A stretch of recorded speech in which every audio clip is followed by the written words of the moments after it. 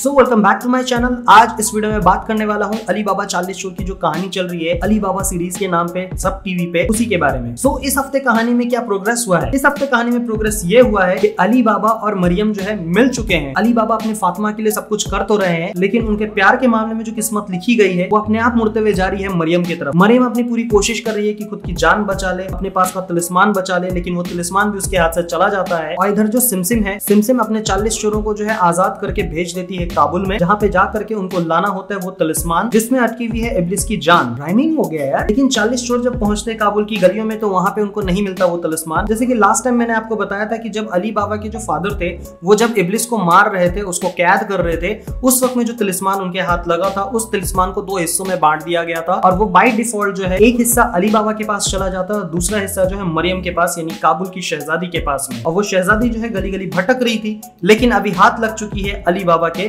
और अली बाबा के साथ में जो है एक नया सफ़र चालू हो गया है। लेकिन उस सफ़र के बीच में भी काबुल के बाहर से आया हुआ जो बंदा है, वो उसको कैद कर लेता है और दोनों को कैद करके बेचने के लिए ले जाता है। अब उस बंदे को शक है कि जो शहजादी है, वो सच में शहजादी है और उसे अगर अभी सद्दाम को उसने वापस किया तो उसे ढेर सारा इनाम मिल जाएगा, जिसके वजह से वो अपनी पूरी कोशिश कर रहा है। लेकिन वही कहानी में आगे दिखाया जाता है कि दोनों वहाँ से भाग निकलते हैं। और देखा जाए तो दोनों के बीच में बहुत ज़्यादा ही कॉमेडी दिखाया जा रहा है। एक तरह से उस जोड़ी की तरह उनको पेश किया जा रहा है, जो कि आपस में पहले बहुत लड़ते हैं, आपस में एक दूसरे से बिल्कुल बनती भी नहीं है। और उन दोनों को बाद में जाकर के प्यार हो जाता है, जो कि हम सबको पता है क्योंकि ये दोनों हीरो हीरोइन है। वैसे इन दोनों ने जुम्मा बाज़ार के अंदर में एक दुआ मांगी और वो दुआ कबूल भी हुई। जब चालीस चोर आ रहे थे तो दोनों मिलकर के ये कहते हैं खुदा, कहीं से भी ये ज़मीन फट जाए और चालीस चोर इसमें समा जाए। और बिल्कुल वैसे ही होता है। फिर भी इन दोनों को पता ही नहीं चलता कि इन दोनों के वजह से ये कांड हुआ है। ठीक है, कहानी आगे बढ़ती जा रही है। इधर सद्दाम जो है, यानी शहजादी का जो मामा है, वो अपने आप को और भी ज़्यादा पावरफुल बनाने के लिए पूरी कोशिश कर रहा है। लेकिन सिमसिम ने उसके साथ धोखा करना शुरू कर दिया है। सिमसिम ने एक समय में कहा था, सद्दाम से कि मैं इंसान नहीं जो अपने वादे से पलट जाऊँ। मैं शैतान हूँ और शैतान कभी अपने वादों से नहीं पलटते। ये सुनने के बाद मुझे भी काफ़ी ज़्यादा इंटरेस्टिंग लगा था कि ऐसा ही कुछ होगा, लेकिन नहीं। यहाँ तो सिमसिम अपने महबूब यानी इब्लिस को जो है ज़िंदा करने में लगी हुई है और सिर्फ़ इस चीज़ का इंतज़ार कर रही है कि कब इब्लिस नींद से जागे और पूरी दुनिया में तबाही मचा दे। तो ठीक है, इन सारे कांड के बाद में सिमसिम के जो चालीस चोर है, वो काबुल गए भी और वो नायाब भी लेकर के आए। यानी वो लॉकेट का वो हिस्सा तलिस्मान का वो हिस्सा। जब ला करके दिए तो पता चलता है ये सिर्फ़ एक ही हिस्सा है। दूसरा हिस्सा किसके पास है, ये तो नहीं पता। अब इस टुकड़े के बारे में पहले से पता था कि ये किसके पास में है, शहजादी के पास है, वहाँ से वो ले लेंगे। लेकिन दूसरा हिस्सा किसके पास में है, ये नहीं पता है। अभी सिमसिम ने यही हुक्म दिया है कि जाओ जाकर के काबुल में सभी लोगों से फ़ायदा उठाओ, सभी लोगों को अपनी अमीरी की तरफ़ खींचो और पता करो कि तिलिस्मान का वो दूसरा हिस्सा किसके पास में और जल्द से जल्द पता करना है क्योंकि इबलिस का जो बॉडी है, वो कुछ अलग तरह से रिएक्ट करने लग चुका है। ये था अब तक की कहानी। आप बताओ, आपको कौन सा हिस्सा ज़्यादा अच्छा लग रहा है? लव स्टोरी ज़्यादा अच्छा लग रहा है या फिर तिलिस्मान की कहानी या फिर चालीस चोर में से जब इब्लिस ज़िंदा होगा तब आपको ज़्यादा मज़ा आएगा। इस बारे में यार लिख करके बताओ। बाय द वे दो कैरेक्टर को मैंने स्किप कर दिया है, जो कि बहुत ही ज़्यादा दिमाग खाते हैं। अली बाबा के भाई और भाभी और वो शाही सड़क वाला बंदा बहुत ज़्यादा दिमाग खाते हैं। मेरा मन करता है इनको स्किप करके निकल जाओ आपका क्या कहना है इस बारे में? कमेंट सेक्शन पे जाकर के ज़रूर बता यहाँ तक वीडियो देखने के लिए तहे दिल से धन्यवाद। मिलूँगा नेक्स्ट वीडियो में। तब तक के लिए स्वस्थ रहो, मस्त रहो, ज़बरदस्त रहो।